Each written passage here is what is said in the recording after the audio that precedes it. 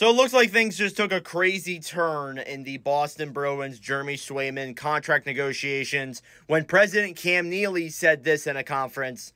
Take a look. Cam, can you share any of the uh, specifics here, be it uh, what his ask is in terms of dollars or term? Um, well, I don't want to get into the weeds with what his ask is, but I know that I I have 64 million reasons why I'd be playing right now. So from what I can tell, from the math that I can do, I'm not great at math, but it seems like they're offering Swayman an 8x8. And with Swayman being at the $10 million mark, is what the reports we've heard, it makes things very interesting. I don't know. I don't think they're close. I don't think they will get this done by the start of the year. They even said in this press conference that they don't even think that he's going to be ready for opening night. Get them signed, get him signed now. So, honestly, they're going to prepare to start the year without him. Hopefully it gets done.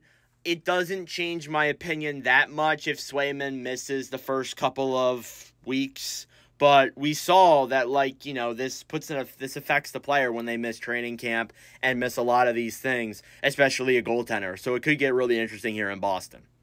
This really seems like a move, too, that is like trying to vilify Swayman, make him seem like he's the bad guy here and not Boston, which might be true, might not be true.